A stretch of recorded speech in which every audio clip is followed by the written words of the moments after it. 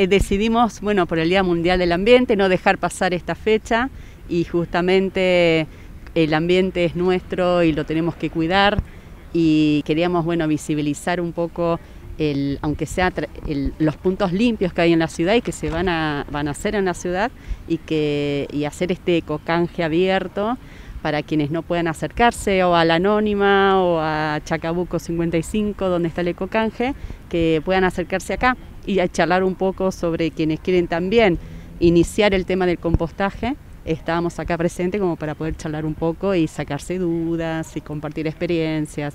Así que por un lado, bueno, los recibimos como para que vengan a intercambiar sus materiales y, y les ofrecíamos, intercambiamos compost, por un lado, si querían, o teníamos árboles o arbustivas. ¿Y qué más?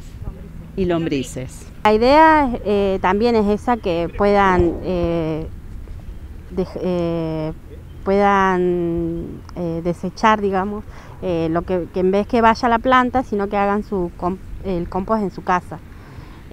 nosotros también tenemos ahí en una bolsa, tenemos un compost armado que hicimos nosotros, en el ecocanje, si visitan el ecocanje, también hay eh, composteras que estuvimos armando y que pueden ver cómo se realizan y que no es tan difícil para que puedan tenerlas en, sus casas. En realidad, eh, eh, hacer, hacer visible que es, responsabilidad de cada uno de los seres humanos que habitamos en este tiempo-espacio cuidar el pequeño ambiente en el cual cada uno vive. Y el primer ambiente es el ambiente de nuestra casa.